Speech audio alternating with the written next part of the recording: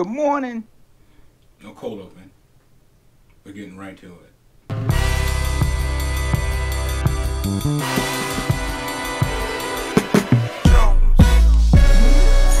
I hope you're strapped in because we got a big show today, especially if you're a Marvel Legends fan.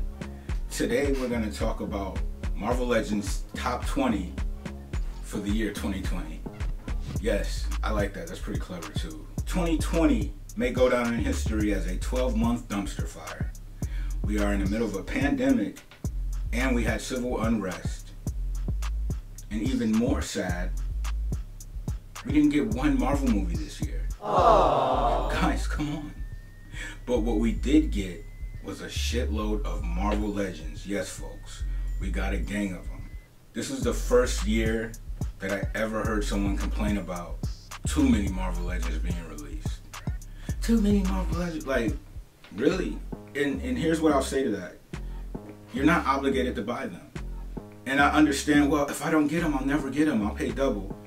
To a degree, some of them. However, this isn't like back in the day where if some people never saw waves or you had to pay this crazy price online. Distribution is good. Here's what that's what I will say about Marvel Legends. Uh, some there's some GI Joe fan punching the wall right now. Marvel Legends, I can't front on them. I've seen a lot of the figures I wanted in the wild. I got most of my figures this year in the wild. This is a good honey year. We had a lot of figures come out this year. The first, and it, I think some people were getting theirs in December, that Super Skrull wave. Definitely a Super Skrull. We wanted that. Definitely a good addition to the collection. And then we got that Spider-Man wave, the Demogoblin wave. And then from the Demogoblin wave, I believe we got that that Crimson Dynamo wave. If we would have got Black Widow with that Crimson Dynamo wave, I think um, the figures would have been bigger. It's just they didn't have a movie for that momentum. So shit, I seen a I seen a few of those today, and this we're in December, and that came out at the top of the year. From there, we had the Gamerverse wave, where the Abomination was the BAF for it, and then from the Abomination wave, did we go Age of Apocalypse? with the Sugar Man, with the Sugar Man BAF, and then from the Age of Apocalypse wave, did we have the Spider-Man Retro wave. Even though it didn't have a BAF, I consider this Kingpin the BAF because it was a big figure, and they could have packaged this as a wave, but then they would have had to build a figure. They're charging the same price. They're charging the same price. I thought, didn't we? I thought uh, if they didn't come with a BAF, what happened to that? I got the Deadpool wave, and now Strong Guy as the BAF, And from Strong Guy, from the Strong Guy BAF, I think that Punisher came out, and that Ghost Rider. Yes, I forgot the Ghost Rider in the initial, when we were doing um, principal photography for these. I forgot that Ghost Rider. I just happened to stumble on. I was like, oh yeah, this Ghost Rider came out this year too. I got the Venom wave and I got that one in a while. Then we just did a show on that last week. And then I, in between, I got the Joe Fixit, the Joe Fixit wave. I feel like I'm forgetting. Oh yeah, all those X-Men two packs, those various two packs, those Target exclusives, and oh yeah, the Marvel MCUs. Those we got those this year. This was definitely a big year for Marvel Legends. We got quite a quite a bit of figures. But today, we managed to boil all that down. And, you know, they say cream rises to the top. We managed to boil all that down and pick the best 20 for 2020. That's so clever. I love that. You are amazing. Yes, the top 20. The top 20 Marvel Legends action figures coming right up. Let's go. Number 20 the Gamerverse Iron Man that came out this year. One came with the Joe Fixit wave, and the other came with the Abomination wave. I will say I don't like the aesthetics of the Gamerverse wave. I think that uh, Joe Fixit Hulk is hideous. I even uh, the standalone Hulk by itself, I just don't like the way they do their faces. I'm not even a big fan of this Gamerverse Captain America. But here's what I will say about Gamerverse figures. They are as good action figure. they're done really well. Like it's un it's it's undeniable how good the figure is, how well they're engineered. That abomination, even though it's hideous, and yeah, abomination is supposed to be ugly, but he's ugly ugly. If you get it in hand when you put it together, you have a really good figure. And the Gamerverse Avengers, whoever's working on those, they really it's they're detail oriented with those figures. They they they're engineered very well. I like them. And these Iron Men, beautifully done. honestly, these are two Iron Men that could probably are top ten for the collection of Iron Man figures within the Marvel Legend wave. Beautifully. Number nineteen. Shang Chi from the uh, Demogoblin wave. Sleeper. Honestly, this is the type of figure that I could see someone having an Instagram page and it's just this figure. I was super impressed with it. Came with a shitload amount of hands, two nunchucks. But what stood out to me is how well the details were on this one. I, I like the way, you know, he had nips. I like the, what's the term, the striations within the muscles. Really, and it articulated well, and it was balanced beautifully. I, I love this figure. Number 18. Bucky Barnes, aka Winter Soldier. I like this. I like this Winter Soldier. I like this Winter Soldier. I, he was a little on the big side. He like he feels like a big guy, but when you put him next to the other guys, he he still works. Number 17. Walmart exclusive Black Widow. I I didn't even waste my time with Walmart because I knew I wanted this figure when I seen the picture of it. I didn't even bother hunting. I went straight to the bay. I went straight to him. I was really happy with this figure. Good assortment of accessories. And one thing what I will say about, let's talk about that Black Widow wave before we finish it. We got introduced to some cool guns. Cause you know we've been complaining about the guns. That Black Widow wave, especially the um, Walmart, no I'm sorry, the Target exclusive Black Widow with the white, those guns were great. Those guns were amazing. And they are definitely added to the gun file, and everyone's using those guns.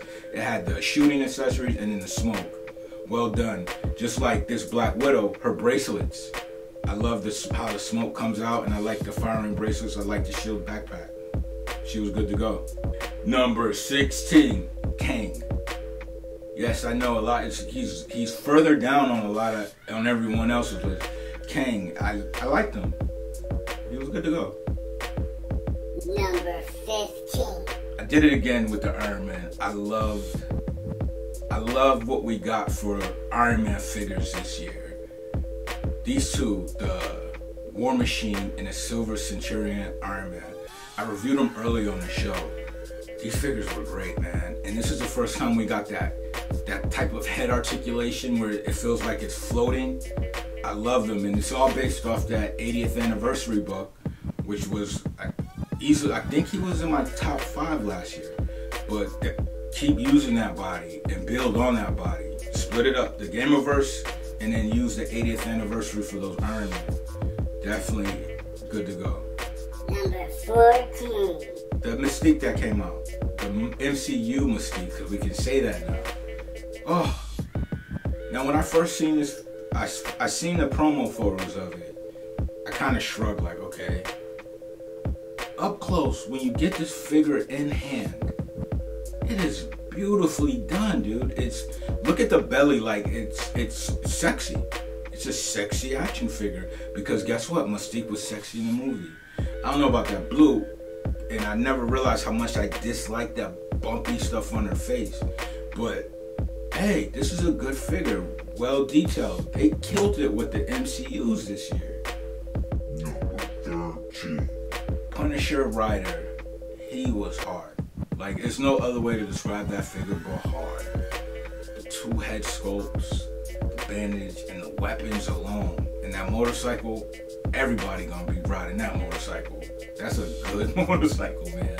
Um, nice, the black color, how, mm, wow cream of the crop. And why I really appreciated this Punisher is because the two head sculpts. It's like I got another Punisher. I got a new Punisher. I got two Punisher figures. Number 12. She-Hulk. She was in a Super Skrull wave. This is a new buck. One thing that'll get me is you is a new buck because I've been collecting these for quite a while. I love this female buck. I want to see it. I want to see it on all the heavy hitting females. I would like to see them do a do a, uh traditional She-Hulk with this type of buck. Like that old, throw that old buck out. This is it right here.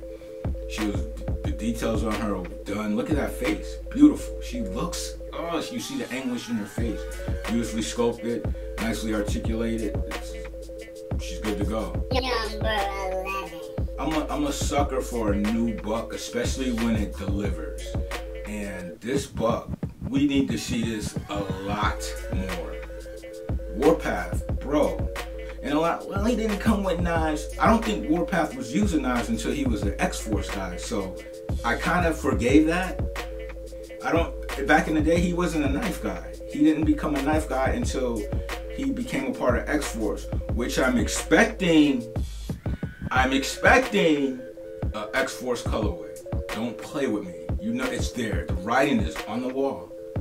Just make sure you have the knives or do some new knives. Lot of people can't. Oh, he he wasn't big enough.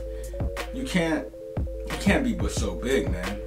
You know it's he has to also match the the the other figures. And he was uh, one thing for me when I what makes me decide how well a figure does is where it's gonna sit within the collection. Hey, where's the retro domino, dude? This we're almost this X Force team is here. We got the ones. We just need we need a Pharrell, a Feral. Am I saying that Feral? We need a traditional domino. Let me get those two. Let me get those two this year. Hook, hook your boy up. Hasbro number. Wait, before we get into number 10, I do have some terrible figures this year. 2020's worst figures of this year. Let's start with Morph. This is a terrible figure. It, it looks like something that I just went into my fodder box and grabbed random parts and put them together. And I know that's how he looks, but he, he just looks so cobbled together. Ugh. Yuck. Dun- that Thunderbird from the Storm and Thunderbird 2 pack. Oh my god. What is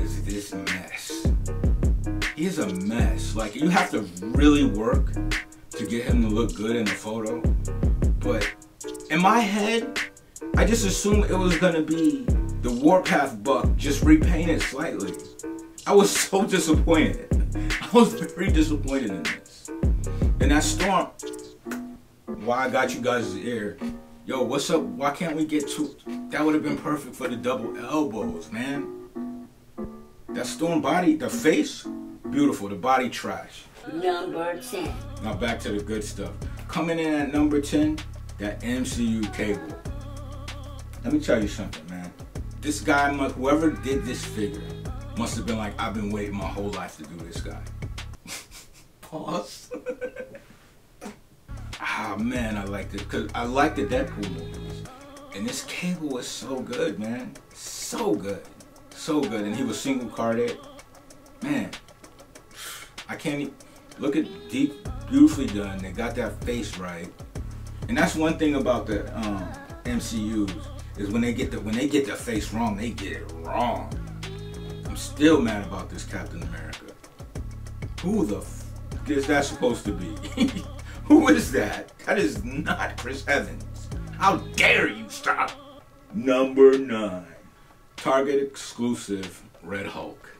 I usually don't get caught in the hype of I need this figure before it comes out. I need it. I need this figure. I don't get caught up in the internet. I usually don't get caught up in the internet hype.